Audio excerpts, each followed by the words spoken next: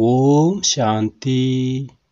ஆறு ஏழு இரண்டாயிரத்தி இருபது. இன்றைக்கான காலை முரளியில் அனைத்து தர்மங்களின் ஒரே இறைவனான நம்முடைய பாபா நமக்கு இப்போது ஞானத்தை கற்பித்துக் கொண்டிருக்கின்றார். அந்த இறைவனே நமக்கு தந்தையாக வந்து நமக்கு ஞானத்தை கற்பித்துக் கொண்டிருக்கின்றார். நாம் இது நாள் வரைக்கும் இந்த உடல்தான் நாம் நாம் இறந்து விடுகிறோம் என்றெல்லாம் பயந்து கொண்டிருந்தோம். ஆனால் நம்முடைய தந்தையே வந்து நாம் ஆத்மா என்றும் நம்முடைய தந்தை பரமாத்மாவாகிய நானே உங்களுக்கு இந்த ஞானத்தை கற்பிக்கிறேன் என்று இறைவனே வந்து கூறுகின்றார்.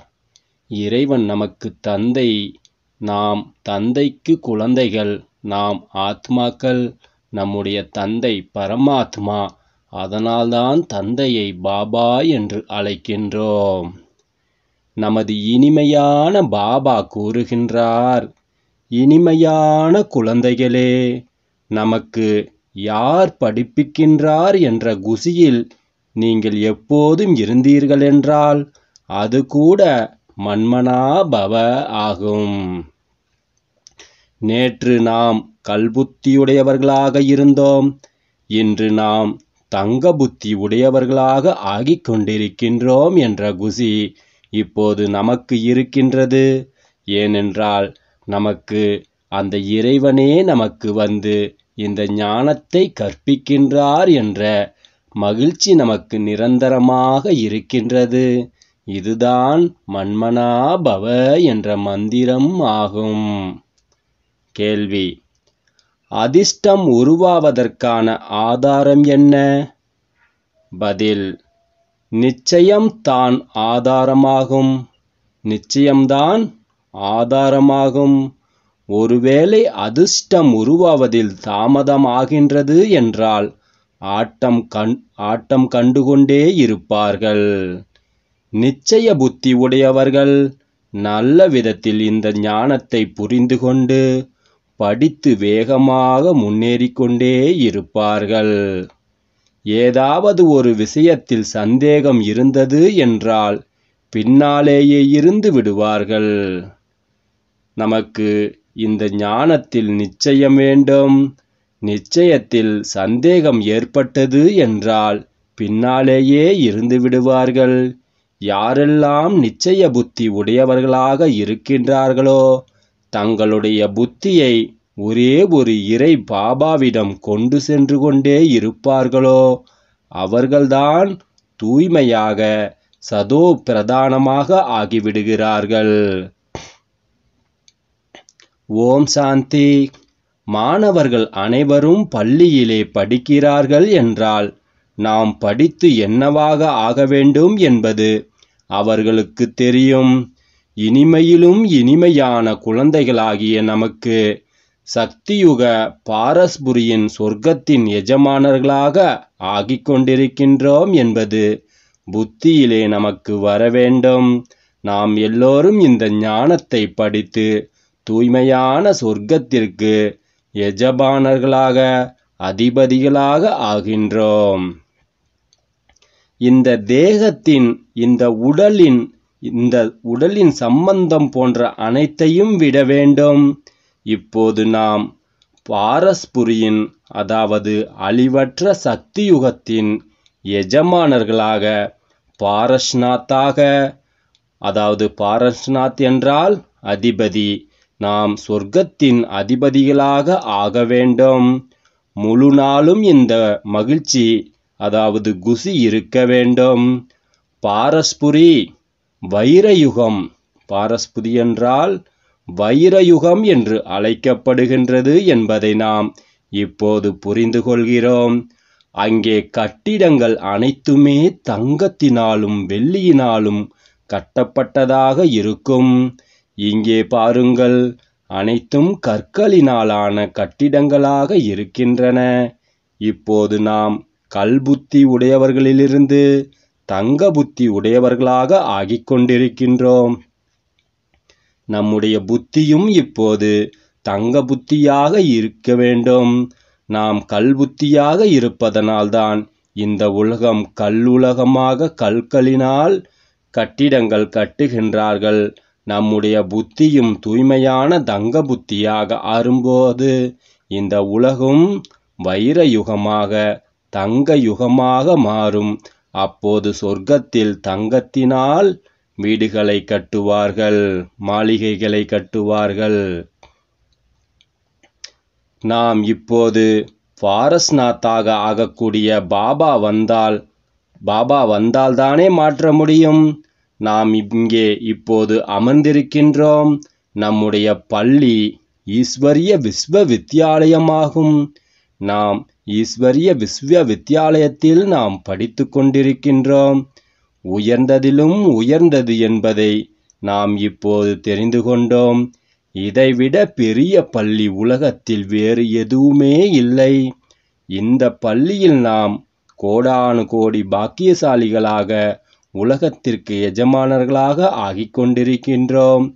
எனவே குழந்தைகளாகிய நாம் நமக்கு எந்த அளவிற்கு மகிழ்ச்சி இருக்க வேண்டும்? இது இந்த கலியுகத்திலிருந்து சக்தி யுகத்திற்கு செல்வதற்கான புருஷோத்தம சங்கம யுகமாகும் நேற்று நாம் கல்புத்தி உடையவர்களாக இருந்தோம்.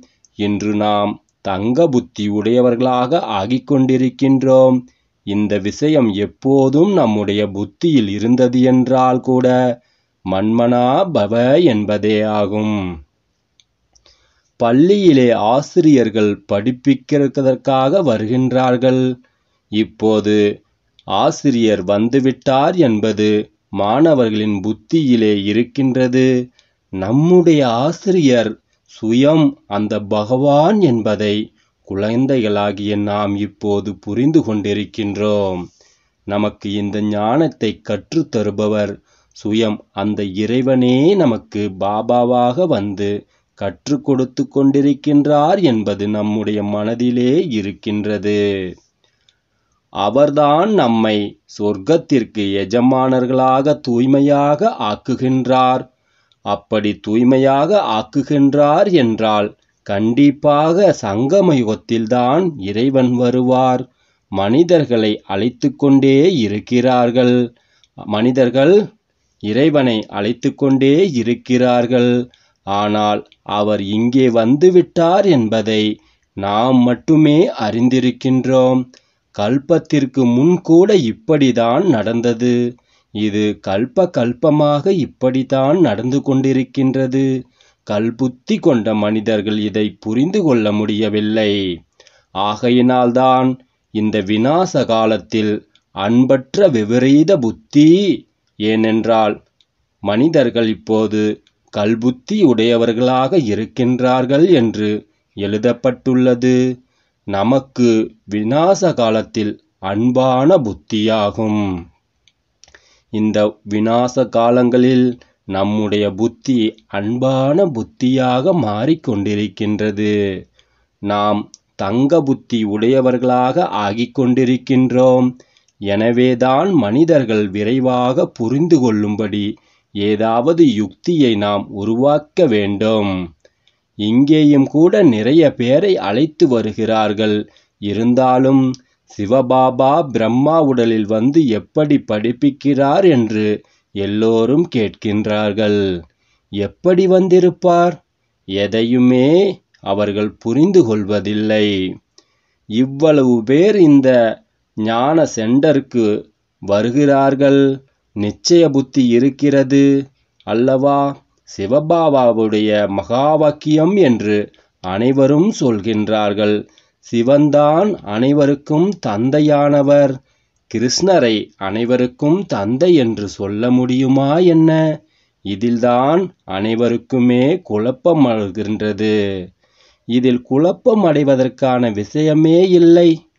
ஆனால் அதிர்ஷ்டம் காலம் கடந்து உருவாக வேண்டும். அதிர்ஷ்டம் காலம் கடந்து உருவாக வேண்டும் என்பது இருந்தால் ஆட்டம் கண்டு தடுமாறிக்கொண்டே இருப்பார்கள். குறைவாக படிக்கக்கூடியவர்களை இவர்கள் தடுமு தடுமாறுகிறார்கள் என்று சொல்லப்படுகிறது. சந்தேக புத்தி உடையவர்கள் பின்னால் இருந்து விடுகிறார்கள். சந்தேக புத்தி உடையவர்கள் பின்னால் தங்கி விடுகிறார்கள். நிச்சய புத்தி உடையவர்கள் நல்ல விதத்தில் படிக்கக்கூடியவர்கள் முன்னேறிக்கொண்டே இருப்பார்கள். எவ்வளவு சுலபமாக இதை புரிய வைக்கப்படுகின்றது. எப்படி குழந்தைகள் வேகமாக ஓடிக்கொண்டு இந்த எல்லையை தொட்டுவிட்டு பிறகு திரும்பி வருகிறார்களோ அப்படிதான் ஆகும். புத்தியை விரைவாக சிவபாபாவிடம் ஓட விட்டீர்கள் என்றால் சதோ பிரதானமாகி விடுவீர்கள் என்று பாபாவே கூறுகின்றார். இங்கே நன்றாக புரிந்து கொள்கிறார்கள். அம்பு தைக்கின்றது. இருந்தாலும் வெளியில் சென்றவுடன் இந்த ஞானம் மறந்து விடுகிறது. ஏனென்றால் இது கல்புத்தி உடைய உலகமாகும். இது ராவண உலகமாகும். பாபாவே வந்து நமக்கு ஞான ஊசி அதாவது ஞான இன்ஜெக்ஷன் போடுகின்றார் என்றால் அதனுடைய போதை நமக்கு ஏற வேண்டுமல்லவா? ஆனால் நமக்கு ஏறுவதே இல்லை. இங்கே ஒரு டம்ளர் ஞான அமிர்தம் குடிக்கிறார்கள் என்றால் தாக்கம் ஏற்படுகிறது. பிறகு இந்த ஞான பள்ளியை விட்டு வெளியில் சென்றவுடன் அனைத்தையும் மறந்து விடுகிறார்கள். ஞானக்கடல் தூய்மையற்றவர்களை தூய்மையாக்குபவர் சத்கதியை வழங்கும் வள்ளல் நமது இறைவனாவார். நம்மையெல்லாம் இந்த ராவண உலகத்திலிருந்து விடுவிப்பவர். ஒரே ஒரு பாபாதான் என்பதை குழந்தைகளாகிய நாம் இப்போது தெரிந்திருக்கின்றோம். நம்முடைய இறைவன்தான் ஒவ்வொரு விஷயத்தின் ஆஸ்தியை நமக்கு கொடுத்து கொண்டிருக்கின்றார். குழந்தைகளே நீங்களும் முழுமையான கடலாக ஆகுங்கள் என்று தந்தை கூறுகின்றார். நம்முடைய தந்தை குழந்தைகளாகிய நம்மை நம்முடைய தந்தைக்கு சமமாக ஆகுங்கள் குணத்தில் என்று கூறுகின்றார். தந்தையிடம் கடல் போன்ற ஞானம் இருக்கின்றது. அவ்வளவையும் நாம் தாரணை செய்ய வேண்டும். நாமும் தந்தைக்கு சமமாக தூய்மையாக வேண்டும். சிவபாபாவிற்கு தேகத்தின் போதை கிடையவே கிடையாது. நம்முடைய இறைவன் இந்த தேகமெடுத்து உடலில் உடலெடுத்து நடிக்க வருவதே இல்லை. குழந்தைகளாகிய நாம் தான் எப்போதும் இந்த உடலை எடுத்து நடித்து கொண்டிருக்கின்றோம். தந்தை அமைதியாக இருக்கின்றார் என்று பாபாவே கூறுகின்றார். நமக்கும் கூட தேகம் இல்லாதபோது போதை இருக்கவில்லை. இது நம்முடைய பொருள் என்று சிவபாபா சொல்கிறாரா என்ன? சிவபாபா எதையும் தன்னுடையது என்று கூறுவதே இல்லை. இந்த உடலை கூட கடனாக எடுத்திருக்கின்றேன் என்றுதான் தந்தை கூறுகின்றார். கடனாக இந்த உடலை எடுத்து இந்த உடல் மூலமாக இந்த ஞானத்தை கூறுகின்றார். கடனாக பெற்ற பொருள் என்னுடையதா என்ன? கொஞ்ச நேரம் சேவை செய்வதற்காக நான் இந்த பிரம்மாவின் உடலுக்குள் பிரவேசித்திருக்கின்றேன். இப்போது குழந்தைகளாகிய நாம் வீட்டிற்கு திரும்ப வேண்டும். பகவானை சந்திப்பதற்காகத்தான் நாம் ஓடி வர வேண்டும். இவ்வளவு யக்கியம் தவம் போன்றவைகளை செய்து கொண்டிருக்கிறார்கள் மனிதர்கள். எவ்வளவோ பூஜை புனஸ்காரங்களையெல்லாம் செய்து கொண்டிருக்கின்றார்கள். அவர் எப்படி கிடைப்பார் என்பதை யாருமே தெரிந்திருக்கவில்லை. ஏதாவது ஒரு ரூபத்தில் பகவான் வருவார் என்று புரிந்துள்ளார்கள். மிகவும் சகஜம் என்று பாபா புரிய வைக்கின்றார். கண்காட்சிகளில் கூட நாம் புரிய வைக்க முடியும். பாபா கூறுகின்றார் கண்காட்சிகளில் சென்று நாம் இந்த ஞானத்தை அனைவருக்கும் புரிய வைக்க முடியும். சக்தியுகம் திரேதாயுகத்தின் ஆயுள் கூட எழுதப்பட்டுள்ளது. சக்தியுகம் திரேதாயுகத்தின் ஆயுள் இரண்டாயிரத்தி ஐநூறு ஆண்டுகள் என்பது கூட துல்லியமாக எழுதப்பட்டிருக்கின்றது.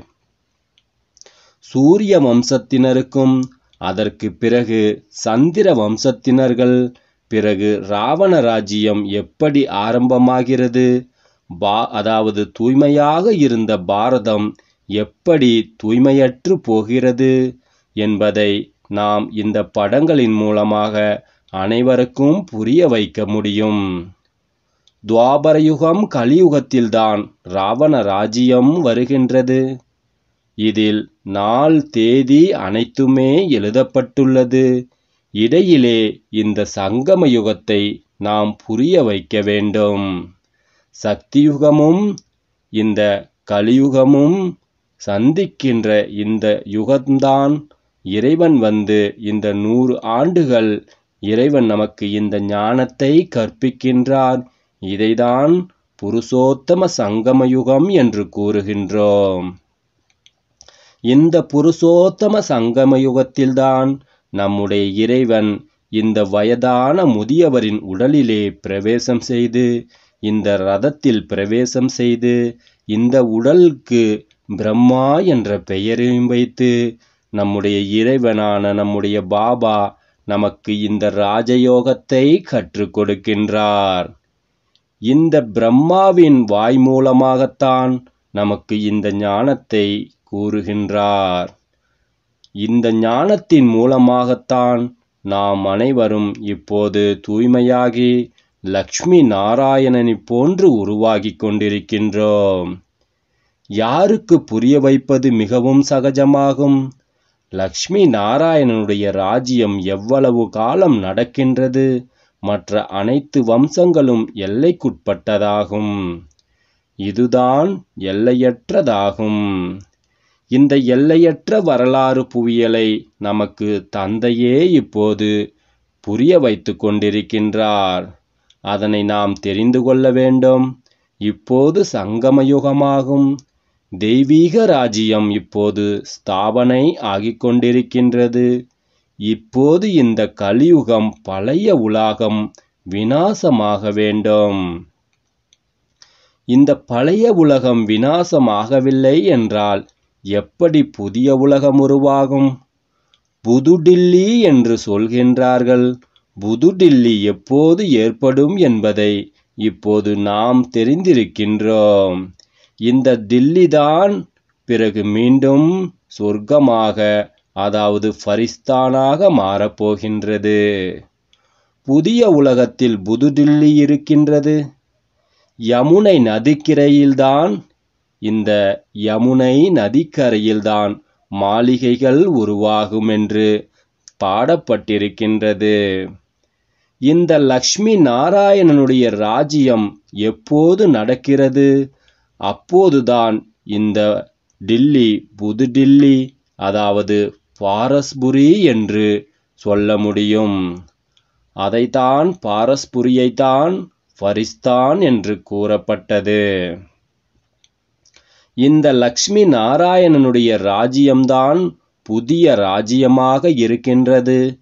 நாடகம் எவ்வாறு ஆரம்பமாகிறது என்பதை கூட மனிதர்கள் மறந்து விட்டார்கள் யார் யார் முக்கிய நடிகர்கள் என்பதை கூட யாரும் தெரிந்து கொள்ள வேண்டும்.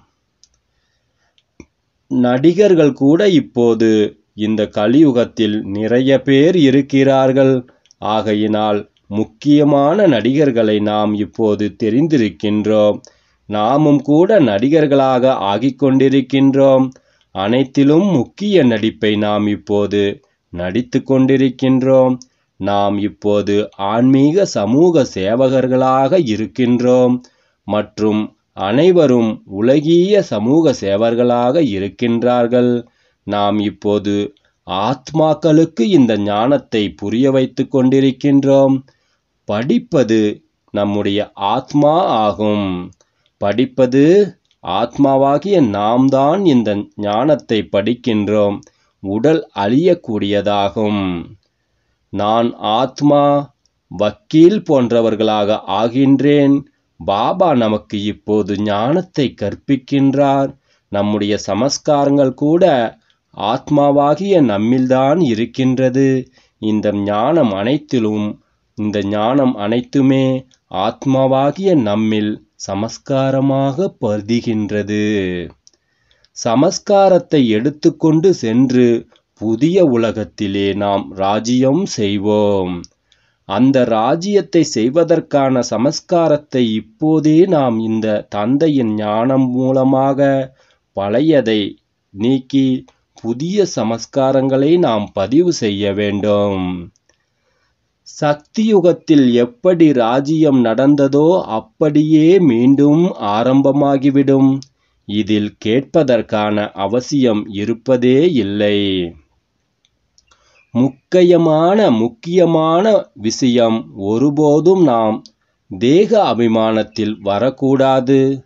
நம்மை நாம் ஆத்மா என்று புரிந்து கொள்ள வேண்டும். எந்த ஒரு பாவ விகர்மமும் நாம் செய்யக்கூடாது. நாம் எப்போதும் தந்தையின் நினைவிலே இருக்க வேண்டும். நாம் தந்தையின் நினைவில் இருக்கவில்லை என்றால் பாவ விகர்மத்தின் சுமை நூறு மடங்காகிவிடும். இந்த எலும்புகள் அனைத்துமே ஒரேடியாக உடைந்து விடுகிறது. அதிலும் கூட முக்கியமான விஷயம் நாம் செய்கின்ற பாவம் விகாரமாகும். விகாரம் மிகப்பெரிய விகாரம் காமம் ஆகும். இந்த காமம்தான் நம்மை ஒரே அடியாக படுகுழியில் தள்ளிவிடுகிறது.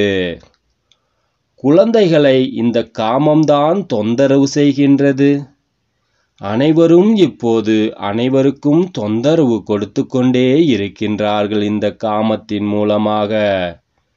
பிறகு அடிக்க வேண்டியிருக்கின்றது என்று நிறைய பேர் சொல்கின்றார்கள். இதை ஒன்றும் கேட்க வேண்டியதே இல்லை. இந்த காமம் ஒரு பைசாவிற்கு உதவாத ஒன்றாகும்.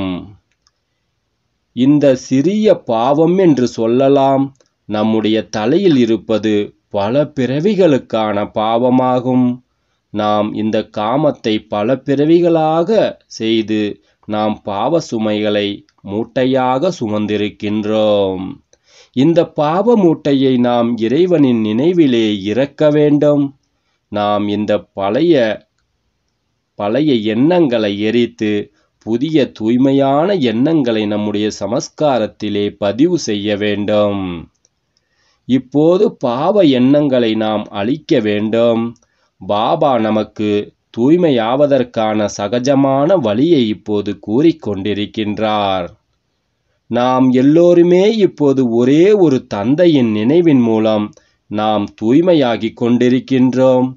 பகவானுடைய மகா வாக்கியம் குழந்தைகளாக அதாவது பகவானுடைய மகா வாக்கியம் குழந்தைகளுக்காக நமக்காக இப்போது தந்தை கூறிக்கொண்டிருக்கின்றார் நாம் ஆத்மாக்களாகிய நமக்குத்தான் ஆத்மாக்களாகிய நமக்குத்தான் தந்தை இப்போது இந்த ஞானத்தை புரிய வைக்கின்றார். ஆத்மாக்கள் மற்றும் பரமாத்மாவின் சந்திப்பு இப்போது நடந்து கொண்டிருக்கின்றது என்று பாடப்படுகின்றது. இதில் சத்தம் போன்றவைகள் போட தேவையே இல்லை பஜனைகள் தேவையில்லை. இது ஞான படிப்பாகும் புரிந்து கொள்ளக்கூடிய ஒன்றாகும். நாம் தந்தையின் நினைவிலிருந்து இந்த ஞானத்தை கற்க வேண்டும். நம்முடைய பாபா வெகு தூரத்திலிருந்து இந்த ஞானத்தை கற்பிப்பதற்காக வந்திருக்கின்றார் பாபா பரந்தாமத்திலிருந்து நமக்கு இந்த பூலோகத்திற்கு வந்து நமக்கு இந்த ஞானத்தை கற்பிக்கின்றார். போக போக அனைவருக்கும் இந்த புத்தி நிச்சய புத்தி வந்துவிடும். நிச்சய புத்தி உடையவர்களாக இருப்பார்களோ அவர்களுக்குத்தான் அதிக கவர்ச்சி ஏற்படும். இப்போது அந்த அளவிற்கு யாருக்குமே கவர்ச்சி ஏற்படுவதில்லை. ஏனென்றால் யாருமே தந்தையை நினைவு செய்வதில்லை. பயணம் செய்துவிட்டு திரும்புகிறார்கள் வீட்டிற்கு அருகில் வருகிறார்கள் என்றால் கட்டிடம் நினைவுக்கு வரும் குழந்தைகள் நினைவுக்கு வருவார்கள் வீட்டை அடைந்தவுடன் மகிழ்ச்சியோடு வந்து சந்திப்பார்கள் மகிழ்ச்சி அதிகரித்து கொண்டே செல்லும். நாம் முதன் முதலில் மனைவு நினைவுக்கு வருவார். குழந்தைகள் போன்றோர் நினைவுக்கு வருகிறார்கள். நாம் இப்போது வீட்டிற்கு செல்கின்றோம். அங்கே தந்தை மற்றும் குழந்தைகள்தான் இருக்கிறார்கள் என்பது நினைவுக்கு வரும். அதே போலத்தான் சாந்திதாமம் நம்முடைய வீடாகும்.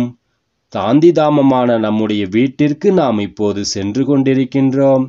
பிறகு அங்கிருந்து இந்த உலகம் தூய்மையான பிறகு ராஜ்யம் செய்வதற்காக இந்த சொர்க்கத்திற்கு அதாவது சக்தி யுகத்திற்கு ராஜ்யம் செய்வதற்காக வருவோம் என்ற இரட்டை மகிழ்ச்சி நமக்கு இருக்கின்றது.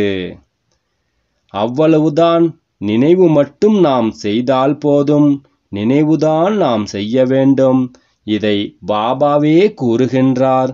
மன்மனா பவ தங்களை ஆத்மா என்று புரிந்து கொண்டு நாம் எல்லோரும் இப்போது தந்தையை நினைப்பதன் மூலமாக நமக்கு ஆஸ்தி நினைவுக்கு வருகின்றது.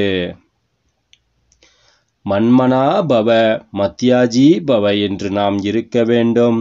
தந்தையின் நினைவையும் ஆஸ்தியையும் நினைவு செய்ய வேண்டும். தந்தையின் நினைவின் மூலம் பாவங்கள் அழிகின்றது. ஆஸ்தியை நினைவு செய்வதற்காக நாம் இந்த ஞானத்தை கற்க வேண்டும். நம்முடைய பாபா குழந்தைகளாகிய நமக்கு இப்போது ஞானத்தை கற்பித்து நம்மையெல்லாம் மலர்களாக ஆக்கிக் கொண்டிருக்கின்றார். நாம் இப்போது மலர்களாகி தந்தையுடன் செல்ல வேண்டும். கொஞ்சம் கூட நமக்கு கஷ்டமே தேவையில்லை. எப்படி தேனீக்கள் கூட்டம் செல்கின்றதோ அதே போலத்தான் ஆத்மாக்களாகிய நாமும் கூட இந்த உலகம் எரிக்கப்படும்போது அழிக்கப்படும்போது ஆத்மாக்களாகிய நாம் அனைவருமே பரமாத்மாவாகிய நம்முடைய தந்தை பாபாவுடன் செல்ல போகின்றோம். அதற்காகத்தான் இப்போது தூய்மையாக வேண்டியிருக்கின்றது. நம்மை தூய்மையாக்குவதற்காகத்தான் தந்தை பாபாவே வந்திருக்கின்றார். அதற்காக நாம் பாபாவை நினைவு செய்ய வேண்டும். அதாவது நம்முடைய பாபாவை நினைவு செய்வதன் மூலம் நாம் நம்முடைய வீட்டை அடைகின்றோம். பாபாவினுடைய பார்வை முதலில் ஏழை குழந்தைகளின் மீது நமக்குத்தான் விழுகின்றது. பாபா நம்மைதான் முதலில் பார்க்கின்றார். பாபா ஏழை பங்காளன் அல்லவா நாமும் கூட கிராமங்களுக்கு சேவை செய்ய செய்கின்றோம். கிராமம் கிராமமாக நாம் இந்த சேவையை செய்ய வேண்டும். தந்தை கூட நமக்கு வந்து இந்த ஞானத்தை கற்றுத்தருகின்றார். அதாவது கலியுகத்தை தான் மீண்டும் சொர்க்கமாக மாற்றிக்கொண்டிருக்கின்றார் என்று பாபாவே கூறுகின்றார். இப்போது இந்த பழைய உலகம் நரகமாக இருக்கின்றது. இதை கண்டிப்பாக அழித்துவிட்டு புதிய உலகத்தை புது டில்லி போன்று சக்தியுகத்தில் உருவாக்க வேண்டும். அங்கே ராஜ்யமும் நம்முடையதாக இருக்கும். கல்பத்திற்கு முன்னால் இருந்ததை போல நாம் மீண்டும் நம்முடைய ராஜ்யத்தை ஸ்தாபனை செய்வோம் என்ற போதை நமக்கு ஏறுகின்றது. நாம் இப்படி இப்படியெல்லாம் கட்டிடங்களை கட்டுவோம் என்று சொல்வார்களா என்ன? நாம் அங்கே சென்று தானாகவே அப்படி கட்டிடத்தை உருவாக்க ஆரம்பித்து விடுவோம். ஏனென்றால் ஆத்மாவில்தான் அந்த நடிப்பு நிரம்பியுள்ளது. இங்கே படிப்பதற்கான நடிப்பு மட்டுமே நம்மிடம் இருக்க வேண்டும். நாம் இப்படி இப்படியெல்லாம் கட்டிடம் கட்ட வேண்டும் என்று நம்முடைய புத்தியில் பிறகு தானாகவே வரும். கல்பத்திற்கு முன்னால் எப்படியெல்லாம் நாம் சக்தியுகத்தில் தங்க கட்டிடங்களை கட்டினோமோ அதே போன்று மீண்டும் நாம் சக்தியுகத்திலே கட்ட ஆரம்பித்து விடுவோம். இந்த அனைத்து நடிப்பும் ஆத்மாவாகிய நம்மில்தான் அடங்கியிருக்கின்றது. ஆத்மாவில் கூட முதலிலேயே இது பதிவாகி இருக்கின்றது. கல்ப கல்பமாக எந்த கட்டிடத்தில் நாம் இருந்தோமோ அதே மாளிகையைத்தான் நாம் இப்போது உருவாக்கப் போகின்றோம். இந்த விஷயங்களை புதியவர்கள் யாருமே புரிந்து கொள்ள முடியாது. நாம் வருகின்றோம். புதிய புதிய பாயிண்டுகளை கேட்டு புத்துணர்வு பெற்றுக்கொண்டே செல்கின்றோம் என்று நமக்குத்தான் புரிகின்றது. நாம் தான் தந்தையின் ஞானத்தை புரிந்து கொண்டிருக்கின்றோம். புதிய புதிய பாயிண்டுகள் நமக்கு தந்தை கூறிக்கொண்டிருக்கின்றார் அதுவும் கூட நாடகத்தில் பதிவாகி இருக்கின்றது. பாபாவே கூறுகின்றார் குழந்தைகளே நான் இந்த ரதத்தில் எப்போது சவாரி செய்வதற்கு எனக்கு சுகமாக இல்லை? இந்த ரதத்தில் தந்தை வந்து இந்த ஞானத்தை கூறுவதற்கு சுகமாக இல்லை. நான் குழந்தைகளாகிய உங்களுக்கு கற்பிக்கத்தான் இந்த உடலில் வருகின்றேன். இந்த எருதின் மீது சவாரி செய்து கொண்டே இருக்கின்றேன் என்று தந்தை கூறுகின்றார். இப்போது இந்த எருதில் வந்து நமக்கு இந்த ஞானத்தை கூறுவதற்காகத்தான் வந்திருக்கின்றார். பிறகு இந்த எருதில் இருப்பதற்காக இல்லை. இரவும் பகலும் எருதின் மீது சவாரி செய்யப்படுகிறதா என்ன? அவர் ஒரு வினாடியில் வருவதும் செல்வதும் நடக்கின்றது. எப்போதும் இருப்பதற்கான விதியே இல்லை. இந்த உடலில் தந்தை வந்து நிரந்தரமாக இருப்பதில்லை. அவர் ஒரு வினாடியில் இந்த செயலை செய்கின்றார். பாபா எவ்வளவு தூரத்திலிருந்து நமக்காக இந்த ஞானத்தை கற்பிப்பதற்காக படிப்பிப்பதற்காக தந்தையே வருகின்றார். அவருடைய வீடுதான் சாந்திதாமமாகும். நம்முடைய வீடும் சாந்திதாமமாகும். நம்முடைய தந்தை நம்மையெல்லாம் சாந்திதாமத்திற்கு அழைத்துச் செல்வதற்காகத்தான் வந்திருக்கின்றார். முழு நாளும் இந்த சரீரத்தில் இருப்பாரா என்ன? அவருக்கு இந்த சரீரத்தில் இருப்பதற்கான சுகமே இருக்காது. அது கூண்டுக்குள் கிளி மாட்டிக்கொள்வதை போல் ஆகும் அப்பா அப்பா சிவபாபா சூப்பர் சிவபாபா. கூண்டுக்குள் அகப்பட்ட கிளியைப் போல ஆத்மாக்கள் இந்த கூண்டில் அகப்பட்டு கொள்ள விரும்புமா என்ன? நாம் தான் அறியாமல் கூண்டு கிளியைப் போல இந்த உடலில் மாட்டிக்கொண்டு துடித்து கொண்டிருக்கின்றோம்.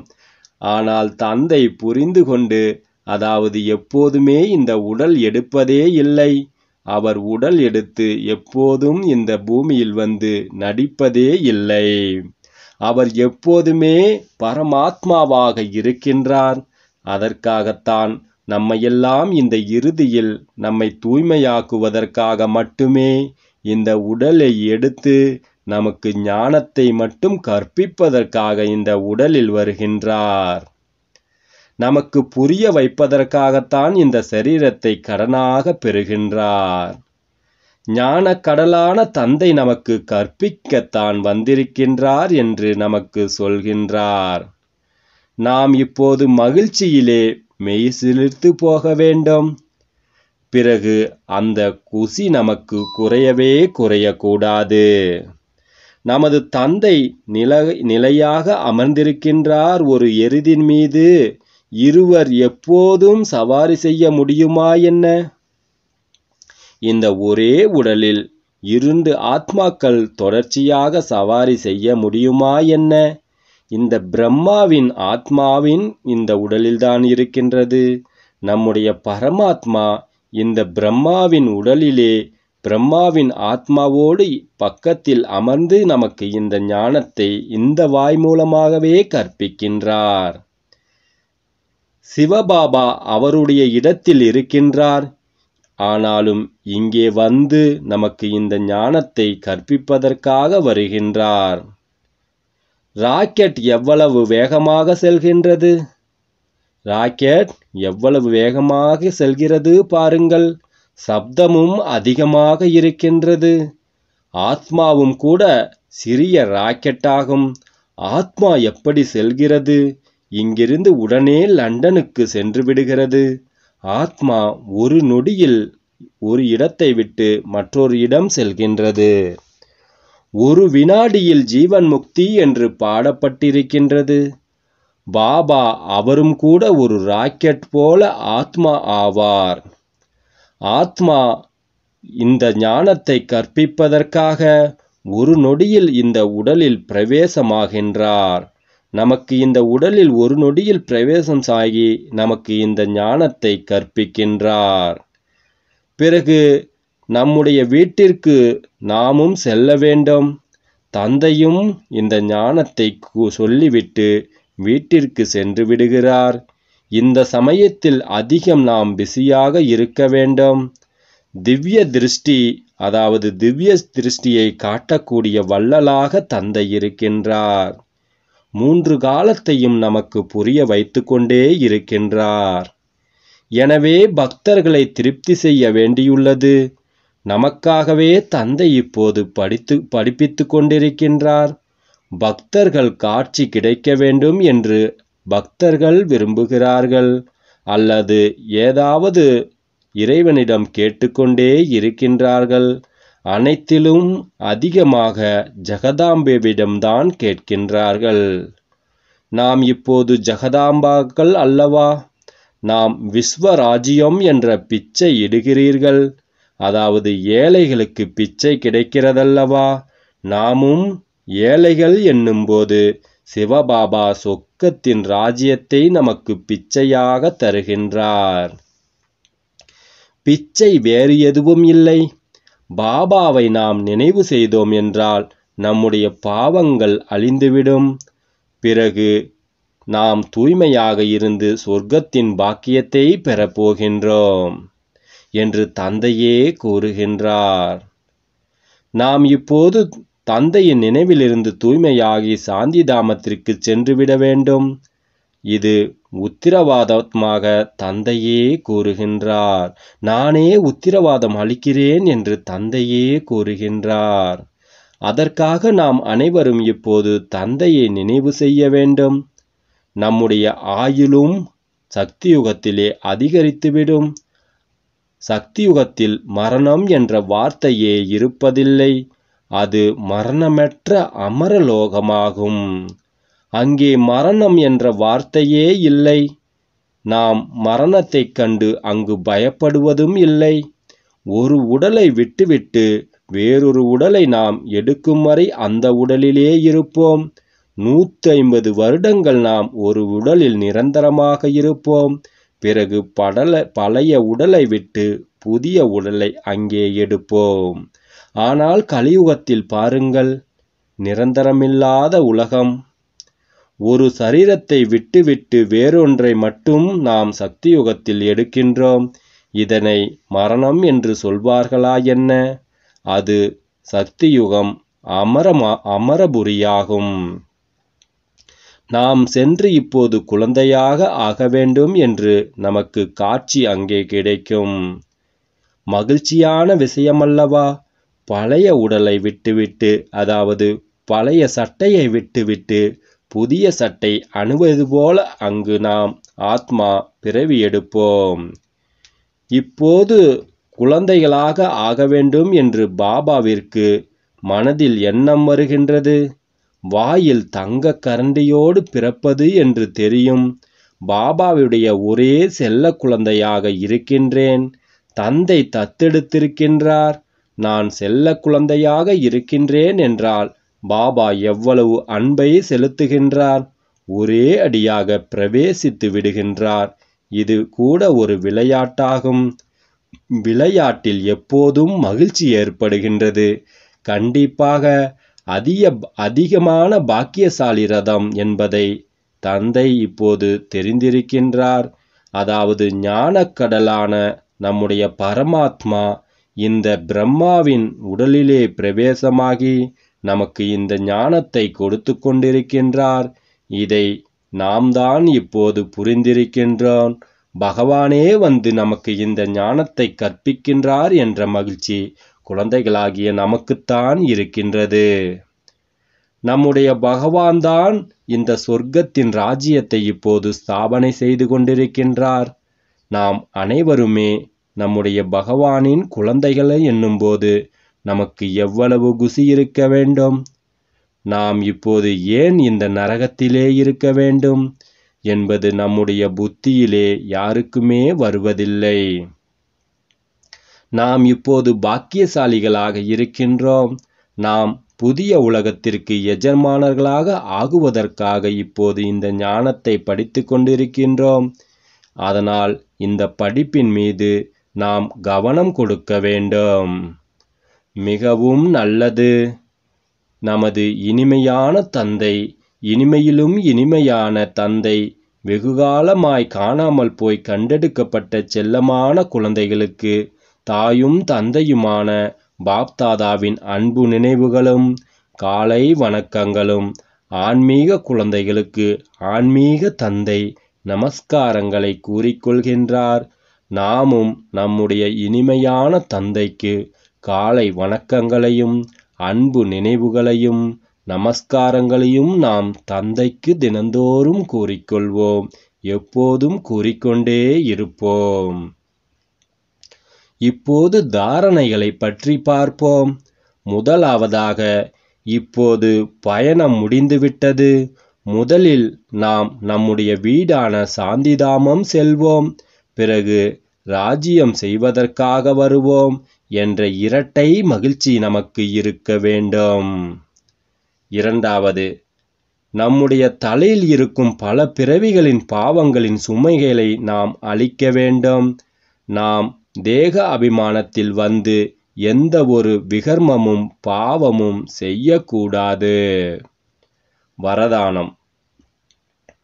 மனதினுடைய சுகந்தத்தின் மனதினுடைய சுதந்திரத்தின் மூலம் அனைத்து ஆத்மாக்களுக்கும் அமைதியை தானம் கொடுக்கக்கூடிய மனதின் மகாதானி ஆகுக.